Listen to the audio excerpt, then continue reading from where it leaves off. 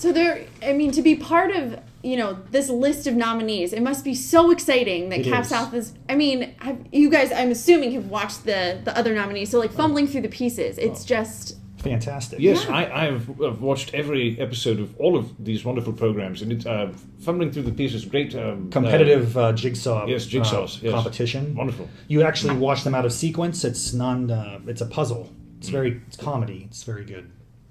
Redefine the genre.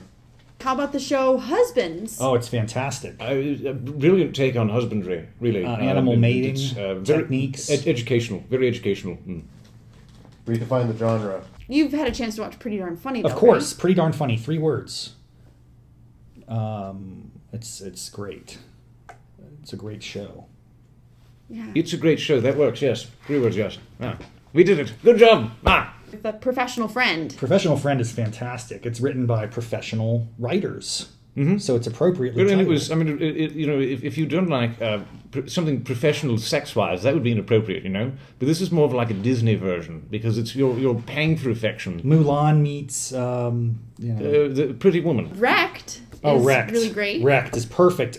Isn't Just when you think you can't really take the whole pirate, capsized, seafaring lifeboat genre Is, is that um, what it any is? further. I thought it was erect, and that's Ooh. what I googled, and I had a very, very different, but nonetheless pleasurable experience. Just be honest. It doesn't sound like you've watched any of the programs.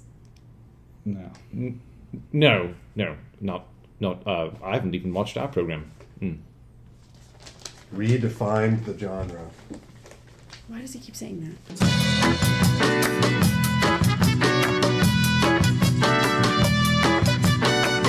Mama cooks in Italy, and mama swims in